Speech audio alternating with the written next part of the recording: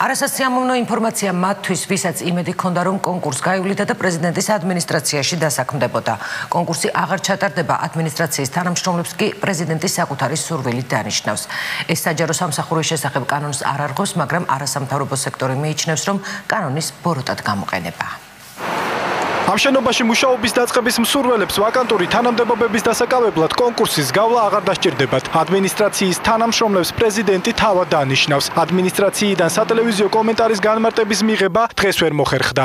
ზოგადი წესი, რომელიც დებულები დადგინდა, არის ის, რომ ადმინისტრაციის თანამშრომლებს ნიშნავს პრეზიდენტი. დღეს მდგომარეობით, როცა ახალი ადმინისტრაცია დაკომპლექტდა, კონკურსები არ გამოცხადებულა და არ ჩატარებულა. რადგან განისაზღვრა, რომ ადმინისტრაციის თანამშრომლები პრეზიდენტმა დანიშნოს, მათი შერჩევა მოხდება მათი კვალიფიკაციის, წარმოდგენილი დოკუმენტაციისა და გასაუბრების საფუძველზე. როგორც ასე, ოფიციალური კონკურსი არ ცხადდება. დებულება, რომლის თანახმად ადმინისტრაციის თანამშრომლებს თავად პრეზიდენტი ნიშნავს, შარშან 19 დეკემბერს მიიღეს. მანამდე პრეზიდენტის კომპეტენციას მიკუთვნებული თანამდებობების პირების გარდა თანამშრომლებს ადმინისტრაციის უფროსი კონკურსის წესით ნიშნავდა. საერთოდ კონკურსები შემოღებულია პრაქტიკულად ყველა უწყებაში, ამდენთაც მე ვიცი და ეს კარგი პრაქტიკაა, იმიტომ რომ კვალიფიკაცია ყოველთვის ბევრს მეტყველებს თქვენ მოგეხსენება თითოეული უწყების მუშაობაზე. როდესაც მთელს ადმინისტრაციას ეხება საქმე, რა თქმა უნდა, სტაბილური, დამოუკიდებელი პროფესიული საჯარო სამსახურისათვის კონკურსები არის აუცილებელი პირობა.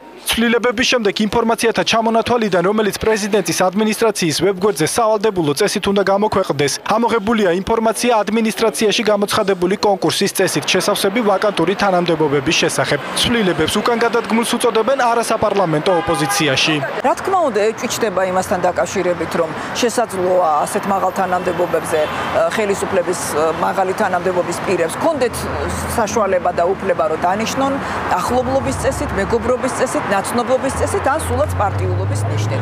ამიტომ მე ვფიქრობ, რომ ეს არის უკან გადადგმული ნაბიჯი საჯარო დემოკრატიისგან. სხვადასხვა სტრუქტურებში თანამშრომლების უკონკურსო დაყვანა საჯარო სამსახურის შესახებ კანონს არ არღვევს. თუმცა არასამთავრობო სექტორის წარმომადგენლები მიიჩნევენ, რომ კანონი ბოროტად არ უნდა იყოს გამოყენებული. კონკურსის გარეშე თანამდებობებზე დანიშნვა, როგორც წესი არ უზრუნველყოფს და ხელს არ უწყობს ისეთ საკითხებს, როგორიც არის თქვა, შერჩევის დროს გამჭირვალობა, უკეთესი კადრების მოზიდვა, კონკურენცია და ბუნებრივია მოქმედებს გარკვეულ ანგარიშვალდებულებაზეც. ხოლოში გამოდის, რომ აღარ გამოცხადება კონკურსი კანდიდატები ვერ გაიგებენ იმის ამის შესახებ შესაძლებელია არსებობდეს პროტექციონიზმის, ნეპოტიზმის საფრთხეები და ეს ერთმნიშვნელოვნად არ არის დადებითი მოვლენა, რა თქმა უნდა, კონკურსები უნდა იყოს გამჭვირვალე. თანამშრომლების კონკურსის გარეშე დანიშნვის პრაქტიკა უკვე მოქმედებს მთავრობის კანცელარიაშიც. ვანო მერაბიშვილის პრემიერობის დროს მიღებული დებულება ძალაში 2012 წლის 6 ივლისიდან შევიდა. მთავრობის ადმინისტრაცია ამ წესის გადახედვას და პოლიტიკური თანამდებობების პირების გარდა სხვა მოხელეების კონკურსის წესით დანიშნვას გეგმავს. იბაძავს თუ არა მათ პრეზიდენტი მოგვიანებით გაირკვევა.